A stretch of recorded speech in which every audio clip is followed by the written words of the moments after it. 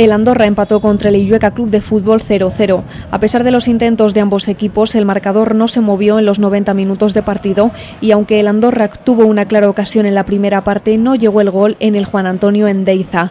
En la primera mitad del encuentro, el equipo local intentó coger el mando del partido y defendió bastante bien la portería. A mitad del primer tiempo, Javier Moscado se aproximó a la portería, pero el guardameta contrario, Juan Barrientos, salvó una ocasión clarísima de gol. Además, el aire en contra dificultó el juego de la Andorra. La meteorología jugó un papel importante en el encuentro, según reconocieron ambos entrenadores. Yo, bajo mi punto de vista, creo que el resultado ha sido justo.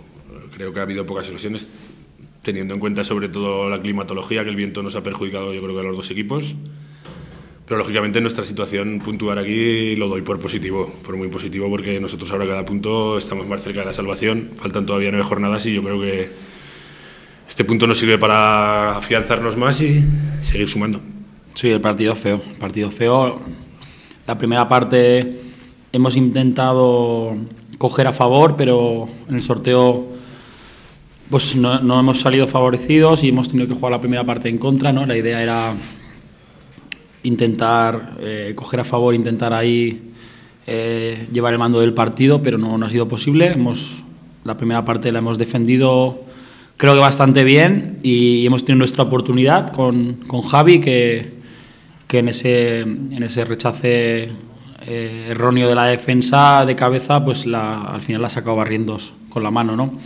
Ha hecho una buena parada. Hemos tenido una oportunidad muy clara y creo que la primera parte pues hemos aguantado bastante bien, ¿no? El, tipo en el, en contra. La segunda parte era un partido totalmente diferente en el cual pues hemos intentado hacer el campo lo más grande posible ¿no? para, para meter eh, todos los balones que pudiéramos al área. Sabíamos que ahí pues algo podíamos sacar, hemos tenido varios corners. En la segunda parte el partido cambió y el Andorra intentó abrir la zona de juego para hacer el campo más grande y así intentar meter los balones posibles en el área contraria.